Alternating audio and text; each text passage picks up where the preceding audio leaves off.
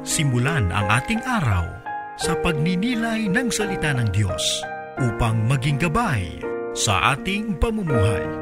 Dito sa Daylight Devotion.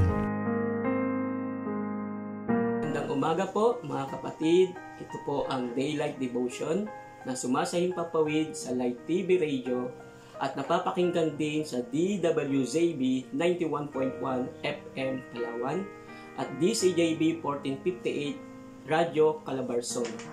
Kasabay rin po tayong napapanood sa ating pong Facebook Live sa Light TV God's Channel of Blessing Facebook page. Ako po si Pastor Randy B. Kabuang ng Jesus Lord Church, Malabon City Chapter. Tayo po sa umagang ito ay magbubulay-bulay ng salita ng Diyos. Sa ating pong panahon na nararanasan dulot po ng pandemya ay marahil may mga pagkakataon na nawawala po yung kapayapaan ng ating pong mga puso. Ngunit ang salita po ng Diyos ay punong-puno ng kanyang mga pangako upang tayo po ay magkaroon ng kapayapaan na sinasabi po ng ating pong Panginoon sa John chapter 14 verse 27. Basahin po natin ang salita ng Diyos. Ang sabi po rito, I'm leaving you with a gift, peace of mind and heart.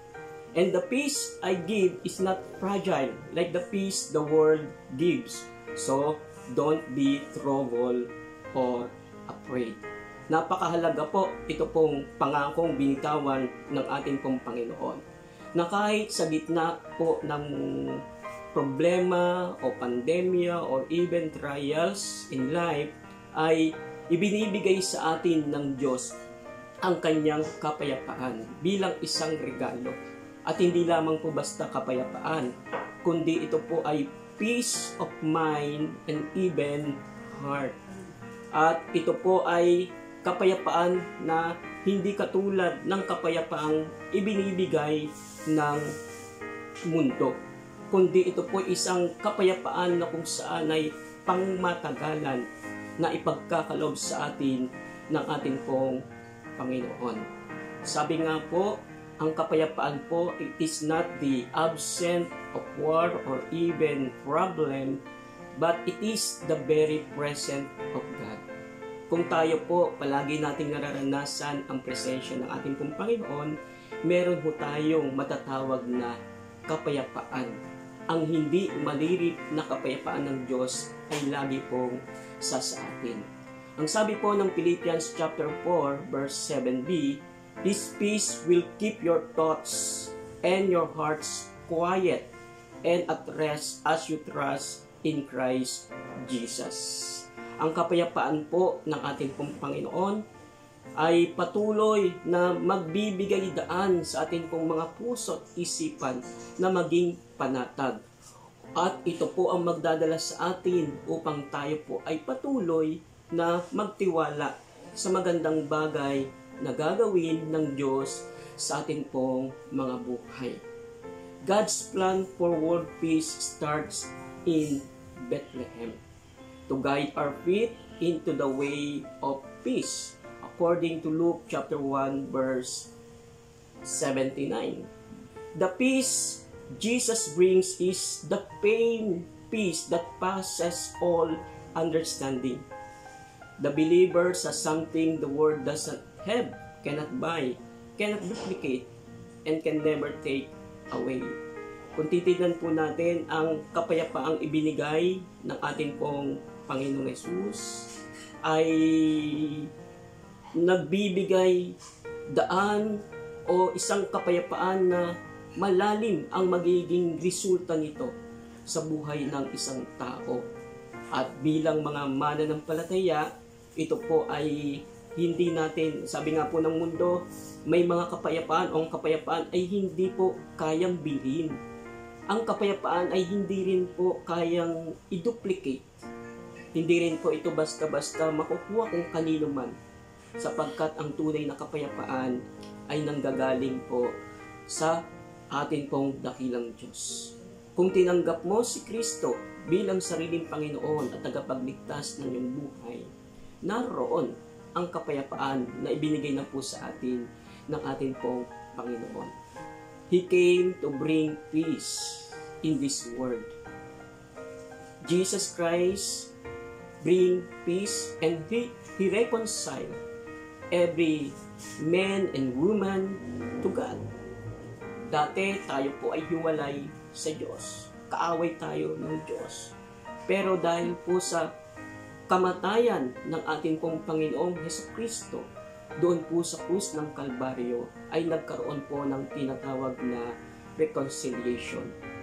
Nagkaroon po ng tinatawag, tinatawag na peace with God. Peace with God. At yung pong pakikipagkapayapaan ng tao sa Diyos ay nagbigay ng resulta upang makuha po natin ito pong tinatawag na kapayapaan na nagmumula sa ating Panginoon. In the past, His coming, His coming made peace with God. According to Isaiah chapter 9, verse 6. Ang sabi po roon, For unto us a child was born, for unto us a son was, be, was given, and the government was upon his shoulder, and he called his name Wonderful, Counselor, Mighty God, and Everlasting Father, and the Prince of Peace. Kaya makikita natin, ang prinsipe ng kapayapaan ay pumunta rito sa lupa upang patuloy na maranasan natin ang hindi malirip na kapayapaan na ibinibigay ng Diyos sa ating pong kaisipan, sa ating pong mga puso. He came to bring peace, He does. In the present, those who trust in Him find peace in their hearts when Christ come in. John 16 verse 33 says, I have said this word unto you, that in me you have my peace in your heart. That in me you might have peace in your heart. That in this word there's lot of trials or even uh, problems in this word in paraphrase. But be a good cheer. Ang sabi po ni Jesus, I have overcome the world. Yung po ang sabi po ng ating pong Panginoon. Sinabi niya, ang mga salitang ito ay patuloy kong sinasambit sa inyo upang sa pakikipag-isa ninyo sa akin ay magkaroon kayo ng. Ang pakikipag-isa po natin sa ating pong Panginoong Yesus ay nagresulta ng kapayapaan sa ating pong mga puso. Na kahit nga may mga pagsubok pang darating tayong kakaharapin sa ating pong mga buhay, ang sabi ng ating Panginoong Yesus, kayo ay hindi dapat mangamba. Kayo ay hindi dapat matigatig sapagkat nagtagumpay ang ating Panginoong Yesus laban sa mundong ito. Sinabi niya, I have overcome the world. That's why, yung pong peace na yon, o yung pong kapayapaan na yon na inilagay ng Diyos sa ating mga puso ay patuloy nating nararanasan hindi po niya sinabing aalisin ang mga pagsubok, kundi ang sinabi niya na sa gitna ng mga pagsubok na ito ay makakaranas po tayo ng kapayapaan na nanggagaling sa Kanya. Sapagkat inilalagay niya sa ating puso na panghawakan natin ang Kanyang pangako na siya po ay nagtagumpay laban sa mundong ito. He came to bring peace, He did. In the future, sabi po, His second coming will usher in a kingdom of peace. Yung pong muling pagbabalik ng ating pong Panginoon, muling pagbabalik niya upang kunin ang lahat ng mga matatapat na mananampalataya ng ating pong Panginoon. Ito rin po ang ang tutulong yung pong kapayapang ibinigay ng Diyos sa atin upang tayo po ay laging maging handa sa kanyang pagbabalik. In the future, His second coming will usher in a kingdom of peace. Ang sabi po ng Revelation chapter 11 verse 15, the seventh angel sounded his trumpet, and there were there were loud voices in heaven which said, The kingdom of the world has become the kingdom of our Lord and His Messiah, and He will reign forever and ever in peace. Tandaan po natin, kapag tayo po ay nasa piling na ng ating Panginoon doon sa kanyang karian sa langit, wala na pong pain, wala na rin po tayong stress, wala na pong anumang bagay na kung saan ay ay negatibong nagaganap sa buhay natin dito po sa ibabaw ng lupa. Pagdating po natin doon po sa kalangitan, ay lahat ay bago na. Binago ng lahat ng ating pong Panginoon. At ang sabi nga po ng salita ng Diyos, papahirin niya ang kahuli-huliyang patak ng ating pong mga mata sapagkat ma-enjoy po natin yung pong tinatawag na kagalakan at kapayapaan sa piling ng ating pong Panginoon. And this is the unshakable peace na nais ng Diyos na mailagay na sa ating pong mga puso bago pa man dumating ang ating pong Panginoon dito po sa lupa. You made promise to God Most High to give Him what you promise. Bring your sacrifices and thanks offering according to Psalms 50 verse 14. God says, Call me when trouble comes. I will help you and you will honor me. Ito po ay isang pagbibigay garantiya na kapag tayo po ay nasa trouble in life, ay tumawag lang tayo sa Diyos at ang sabi niya, Then I will help you. Then you honor me. Ang sabi po ng atin pong Panginoon. Kaya nga po ang nais niya na bagamat narito pa tayo sa mundong ibabaw ay maging bahagi na ng buhay natin. Ito pong kapayapaan. Hindi o dapat tayo mag-alala, hindi o dapat tayo matakot sapagkat sasamahan tayo ng ating pong Panginoon a lifestyle of dependence upon Him, upon God, is the key to weathering storm with supernatural calm. Kahit anumang uri ng bagyo ang dumating sa buhay po ng bawat sa atin, kung matatag tayong nakatayo sa salita ng Diyos at sa pananampalataya natin sa ating pong Panginoon, kailanman hindi tayo matitilang sapagkat hawak tayo ng ating pong Panginoon. A believers who trust in the Lord receive the peace that Isaiah chapter 26 verse 3 promises. Ano po ang sabi po ron? He will keep him in perfect peace.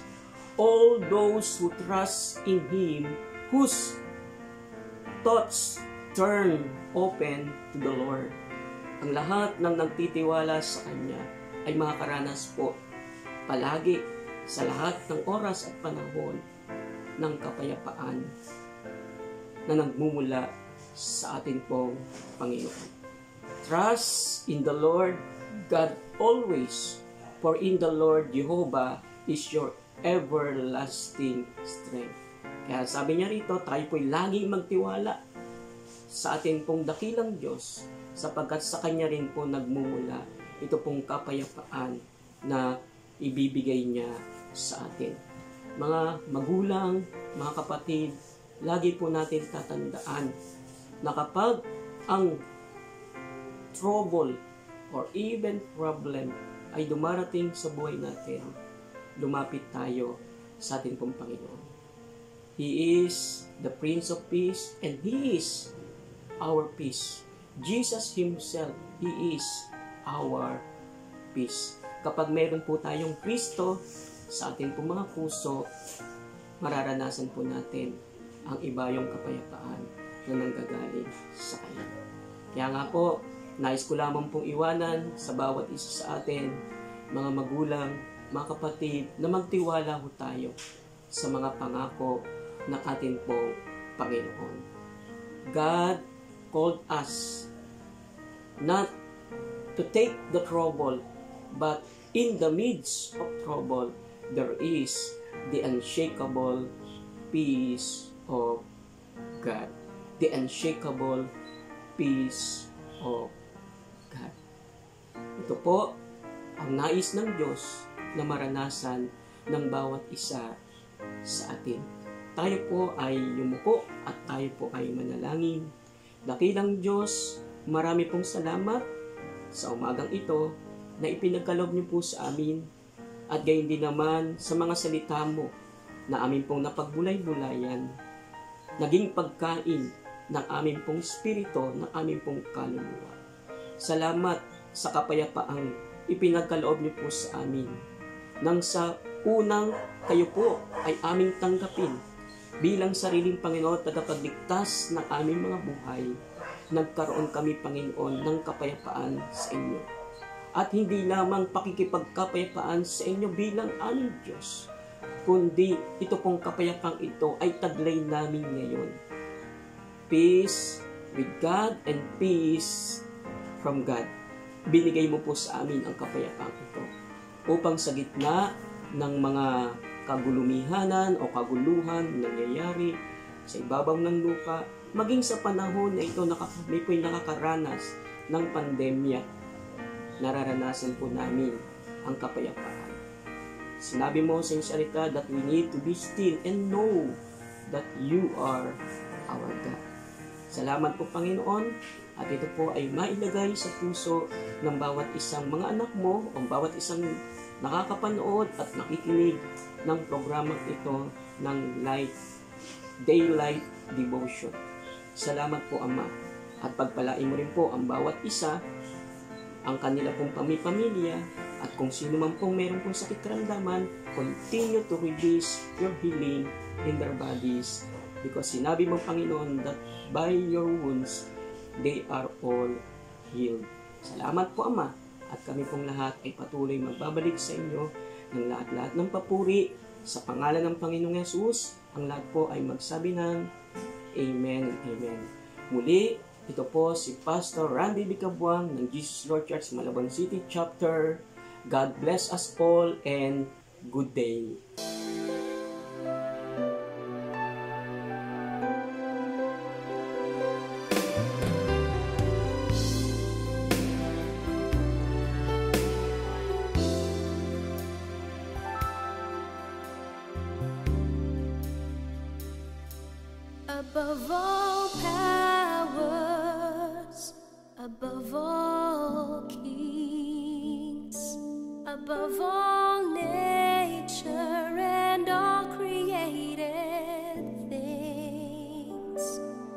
Above all wisdom and all the ways of men.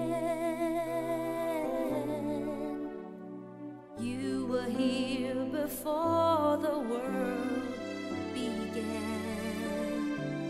Above all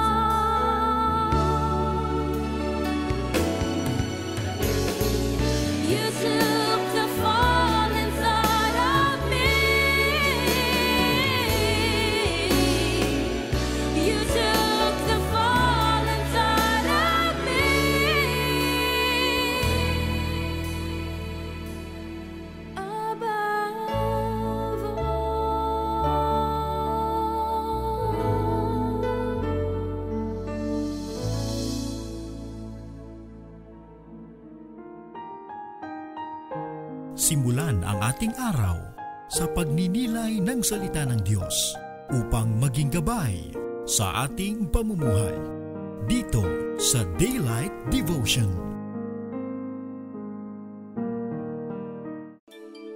Light TV would like to extend our heartfelt thank you to all our generous donors and sponsors. Your unselfish giving will continue to touch more lives for the glory of God. My favorite since teenage days. Pinagpupuyatan ko talaga. Totoo. Blessed morning sa Light TV God's Channel of Blessing. Malaki ang pasalamat ko sa lagi kong pagsubaybay ng inyong programa. Sobrang nakaka-bless po program nyo, pati mga Thanks topics. for the inspiring word of the Lord. I hope that you can feature more of the preaching Sure, marami kasi morning kaya. You too can become God's channel of blessing by partnering with us and sending your donations via these channels. Bank of the Philippine Islands. Account name Light TV Ministries Foundation Incorporated. Account number 004031006401. Swift code BOPI PHMM Manila, Philippines. China Banking Corporation. Account name Light TV Ministries Foundation Incorporated. Account number 102500001426. Swift code CHBK PHMM Manila, Philippines. PayPal code number 8YT3 PHF ZL5YYY. Again, thank you for partnering with Light TV, God's channel of blessings.